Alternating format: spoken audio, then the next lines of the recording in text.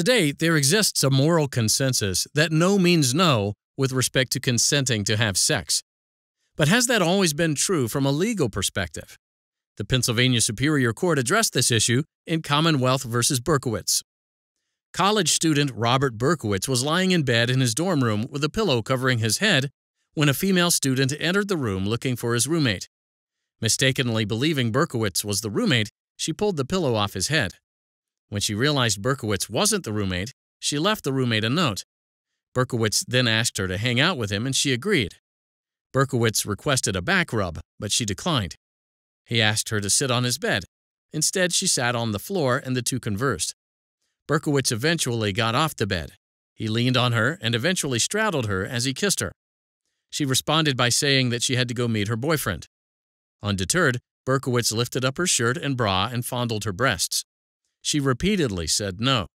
Berkowitz not only continued fondling and kissing her, he unzipped his pants and attempted to have her perform oral sex.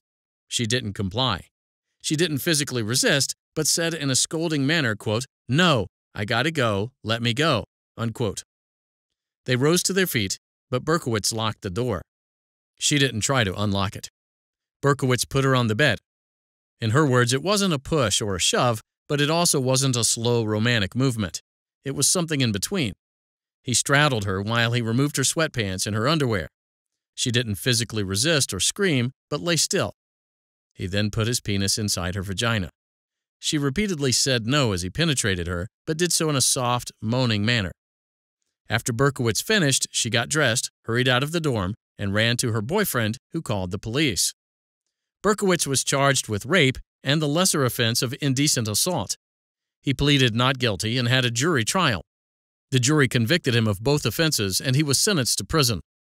Berkowitz appealed to the Pennsylvania Superior Court.